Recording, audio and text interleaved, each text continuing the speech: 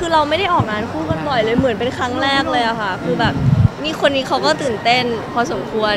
ต้นครับ ต้นเป็นไงคะแบบทำไมแบบยอมมาเซอร์ไพรส์แต้วในครั้งนี้ก็ตื่นเต้นครับจริงๆไม่ค่อยถนัดเท่าไหร่ออกงานขนาดนี้ครับตอนวาเลนไทน์หรือเปล่าก็เลยแบบอยากมาใช่ครับก็ถือโอกาสดีๆวาเลนไทน์มาเซอร์ไพรส์เลยครับ ตอนตอนเขาติดต่อไปนี่ยังไงฮะตอนเขาติดต่อไป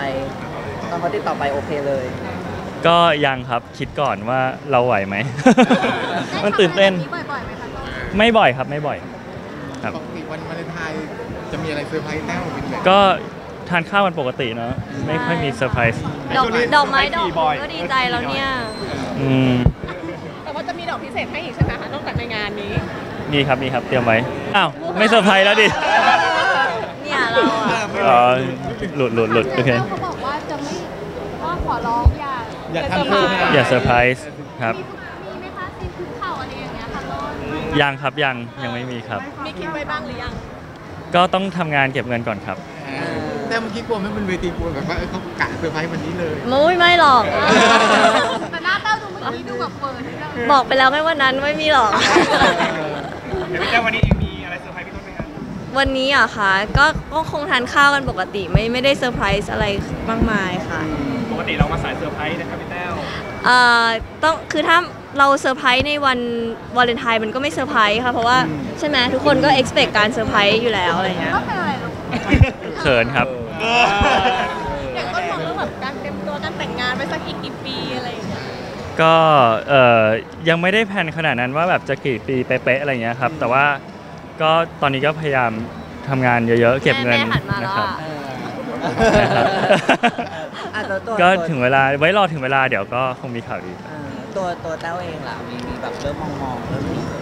ก็ยังค่ะยังยังไม่ได้ไม่ได้คุยยังไม่ได้แบบ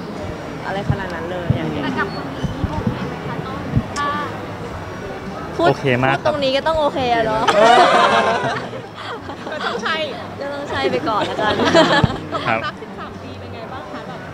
happy ครับ happy มากเลยทุกวันนี้โอเคมากเลยครับต้องพยายามปรับอะไรกันใหม่ไหมหรือว่าแบบ